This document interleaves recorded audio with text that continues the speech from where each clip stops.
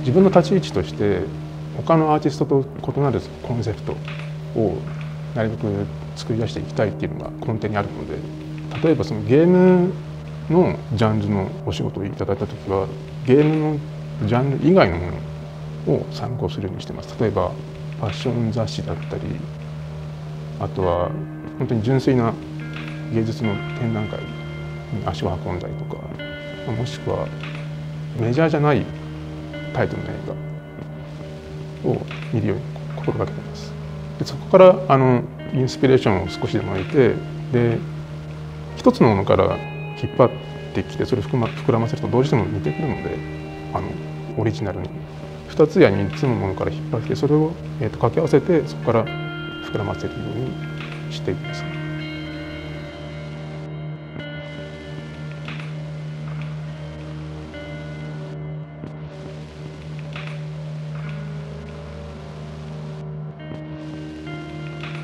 コナミに入社しましてすぐ、えー、サイレントヒルチーム当時はサイレントヒル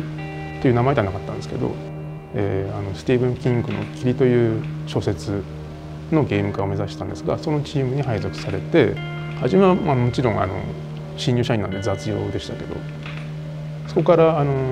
えーと、クリーチャーがクリーチャーというか、えー、ちょっと面白いデザインのクリーチャーを描けるということで、えー、ディレクターの富山からクリーチャーの担当に配置換えさせられたという感じになります。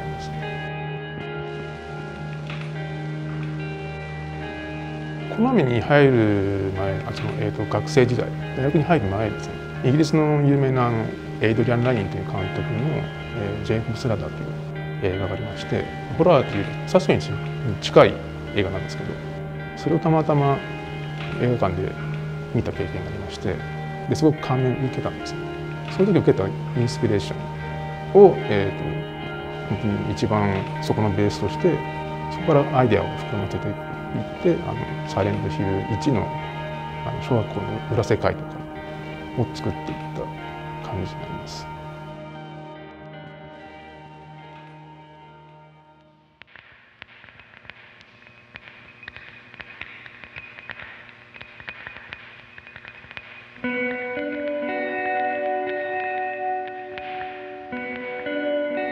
僕が、えーと幼い頃というのは一般の家庭ではちょうどその頃あのロボットアニメが流行った時代でしてで超合金のロボットなんかをこう親から買い与えられてたですね。でもうちはちょっとまあやや貧しかったっていうのもありまして超合金というのはあのどうしても値段が高いので買ってもらえずでそこで、えー、買い与えられたのがえーと、スポーツカーだったり戦車のあのプラモデルだったんです。そこで、まあ、もちろん最初はその車両がどういったものかっていうのは全く分かんなかったんですけど例えばすごく象徴的な大砲がついてる車両だとかそういった子供心にも分かりやすい、えーと、力強いデザインに惹かれましてでそこからもうどんどんそのドイツとロシアの重戦車魅了されていったというかあののめり込んでいったという形になります。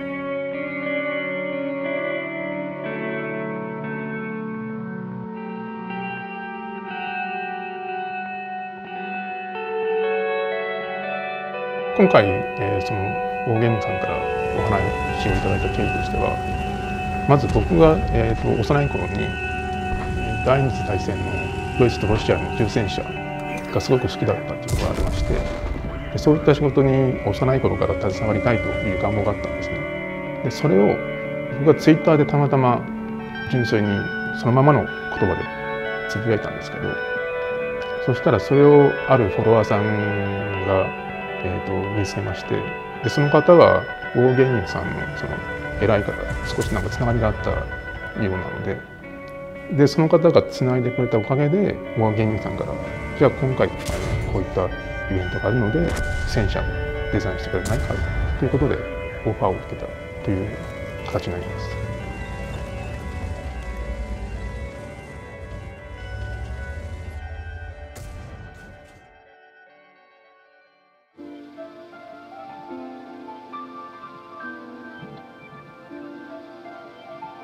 この、えーと、お仕事をいただいたその大前提としてサイレントヒルをやっていたというのが、まあ、根底にあったので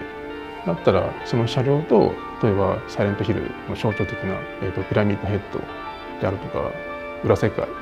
のモチーフを何とかその結びつけられないかということでサイレントヒルの裏世界の象徴的なあの粒子鉄線というモチーフと三角頭のヘルメットの幾何形態を崩してそのパンター戦車に実際に当時の、えーと、1945年のドイツの技術力でこういうデザインだったら、えーと、多分作れたであろうというそのデザインラインを